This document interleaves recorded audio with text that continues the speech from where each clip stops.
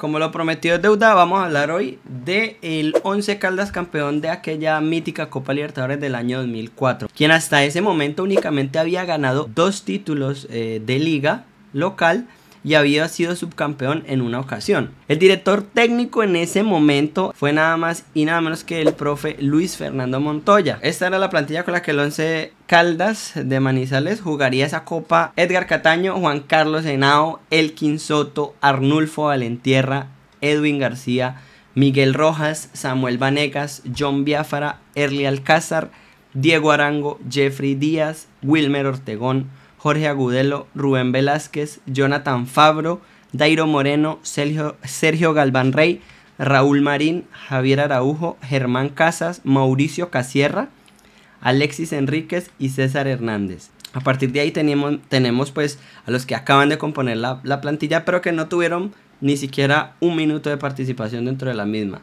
Diego Amaya, Julián Barahona, Julián Barragán, Roger Cambindo, Antonio de Nigris, Juan González, Leopoldo Jiménez, Carlos Mojica, Edwin Móvil, Rolando Ramírez, Rafael Roballo, Luis Valencia y Rolando Vargas. En aquel año llamada todavía Copa Toyota Libertadores, que recuerdo que al ganador eh, del premio al mejor jugador de la final le regalaban una camionetota, ¿se acuerdan de eso? Quiero que analicemos los grupos, quedaron conformados así. Grupo 1, América, Sao Caetano, Peñarol, The Strongest. Grupo 2, Once Caldas, Maracaibo, Vélez Starfield, Fénix. Grupo 3, Cruzeiro Santos Laguna, Caracas, Universidad de Concepción. Grupo 4, Sao Paulo, Liga de Quito, Alianza Lima, Cobreloa. Grupo 5, Nacional Independiente Cienciano, El Nacional. Grupo 6, River Plate, Táchira, Tolima, Libertad. Grupo 7, Santos, Barcelona, Guaraní, Jorge Wilstermann. Grupo 8, Boca Juniors Deportivo Cali, Bolívar, Colo Colo. Y grupo 9, Sporting Cristal, Rosario Central, Coritiba y Olimpia. Y nos vamos a centrar concretamente en el grupo 2,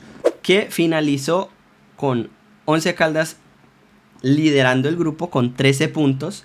4 partidos ganados, 1 empatado y 1 perdido, 11 goles a favor, 6 en contra, una diferencia de gol de más 5. Primer partido ante el Fénix, 3 por 0. Segundo partido, el 11 Caldas contra Maracaibo, 1 por 2. Tercer partido y el más importante, contra Vélez Sarfield, 2 por 0 para Vélez Sarfield y este sería el único partido que el 11 Caldas perdería en fase de grupos. Repetimos partido 11 Caldas contra Vélez Sarfield, le ganó 2 por 0 en Manizales, o sea, se desquitó. Siguiente partido contra Maracaibo, nuevamente victoria para el conjunto de Manizales. Y en el último partido, 2 por 2, que sería el partido que empataría en esta ocasión contra Fénix, ya totalmente clasificado. Nos vamos a los octavos de final, fase en la que si perdés te vas para la casa, si ganás, seguís avanzando, seguís ilusionándote y llenándote de fuerza, de moral para intentar dar la sorpresa, para intentar ganar un título ya continental, un título importante. ¿Contra quién tocaba enfrentarse? El Barcelona de Ecuador. Un Barcelona de Ecuador que allí en su casa no sería capaz de ganarle al Once Caldas, ni siquiera de marcar. Y en la vuelta, Once Caldas sería capaz de imponerse ante el equipo ecuatoriano. El partido se había puesto cuesta arriba con el gol del Barcelona. Por suerte logró empatar con gol de Agudelo. Ahí estaba el gol Sáquela de taco. Se van a penaltis. Si lo hace ganar. Sí, señor. Entonces Caldas estaba en cuartos de final. Que los estaría enfrentando a aquel mítico Santos. Ese Santos que estaba compuesto por Julio Sergio, Pereira, Marco Aurelio, André Luis, Paulo Almeida, Renato, Diego Elano, César, David y Robinho. El Once Caldas empezaba nuevamente de visitante esta eliminatoria. Lograba sacar un resultado espectacular allá en Brasil quedando uno por uno. Y la vuelta la jugarían en el estadio Palo Grande y ahí conseguirían una victoria mítica. ¡Vale tierra! Eh, Once Caldas el mata gigante de esa copa, sin duda alguna, parce sin duda alguna, pues. Semifinales, Sao Paulo, Once Caldas y Boca Juniors River Plate. Sao Paulo, en su casa, no lograría pasar del empate contra Once Caldas, quien nuevamente empezaba la eliminatoria como visitante. Yo creo que esto, como parte de la cábala, tuvo mucho, pero mucho significado dentro del conjunto Once Caldas y, le ayudó. No sé por qué, pero a mí me da esa sensación de que si, si los inicios hubieran ido variando, no hubiera acabado tan bien la cosa. pero el hecho de acabar siempre en casa jugó un papel fundamental para los de Manizales. Ojo, para mí, es mi opinión. No es lo mismo acabar en casa contra Sao Paulo que acabar en Brasil. Igual que no es lo mismo acabar en Manizales la final que acabar en Argentina, en Buenos Aires. Le tocó muy difícil, pero tuvo a su favor el hecho de terminar todas las eliminatorias como local. Creo que eso jugó un papel fundamental dentro de este torneo. Ojo a la plantillita que tenía Sao Paulo para ese partido, ¿no? Rogerio Ceni, Fabao, Rodrigo, Cicinho, que luego jugó en el Real Madrid, Neri, Simplicio, Alexandre, Danilo, Marquinhos, Luis Fabiano, que luego también dio el salto a Europa, y Grafite. Por el lado de Once Caldas jugó con Henao, Vanegas, Cataño, Rojas, García, Biafara, Valentierra, Soto, Velázquez, Alcázar y Dairo Moreno. Partido de vuelta, dos goles por uno para el conjunto de Manizales. Y llegaba la ansiada final, final que se iba a disputar ante Boca Juniors. En octavos habíamos dejado, el Once Caldas había dejado al Barcelona de Guayaquil. En cuartos eliminaba al Santos de Brasil. En semifinales a Sao Paulo. Y así se plantaba en la final. Por el lado de Boca, en octavos había dejado a Sporting Cristal.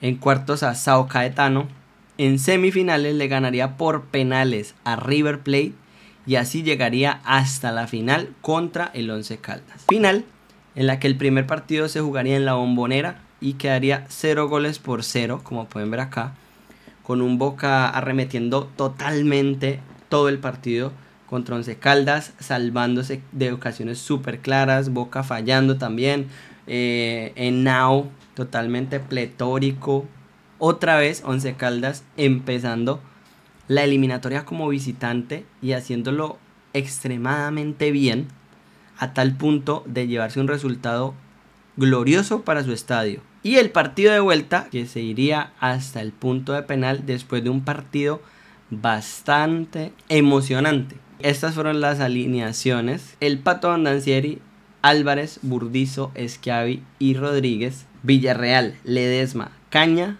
y Arley Barijo y Guillermo Barros Esqueloto por parte de Boca Juniors. Por parte de el Once Caldas formaría con Henao, Vanegas Cataño, García Rojas, Arango, Soto, Biafara, Velázquez, Valentierra y Jorge Agudelo. Este Once Caldas si algo tuvo fue mucha fortaleza mental, saber aguantar la presión, eh, saber hacerse grande en los momentos que eran necesarios y, de esa manera luego llegar a su estadio a culminar lo que ya habían conseguido inicialmente de visitantes. El partido empezaba muy pronto poniéndose favorable para el Once Caldas con esta joya. Libre, le pegó y gol de Empataban a Once Caldas y ahí empezaba Cristo a padecer. Sin embargo, Once Caldas creo que supo ah. aguantar las arremetidas de los argentinos. Sí. también falló. Gol. Y Henao sí se lleva. Señoras y señores, Once Caldas, campeón. Poco que decir.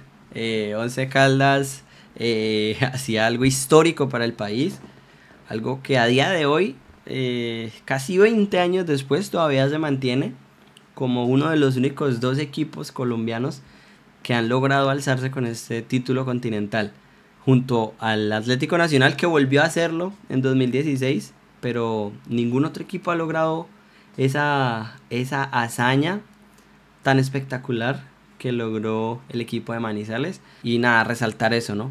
la, excelente organización táctica que tuvo el equipo del profesor Montoya, lo bien parados que salían a jugar esas eliminatorias en estadios súper difíciles, la fortaleza mental que tuvieron también para aguantar eh, estos partidos de tanta trascendencia, de tanta importancia en recintos que de pronto contaban con mucha más experiencia continental que ellos, que era su primera vez que la jugaban pero que aún así salieron, mm, digamos, no victoriosos porque realmente ninguno de esos campos lograron ganar, pero es que no hacía falta eso.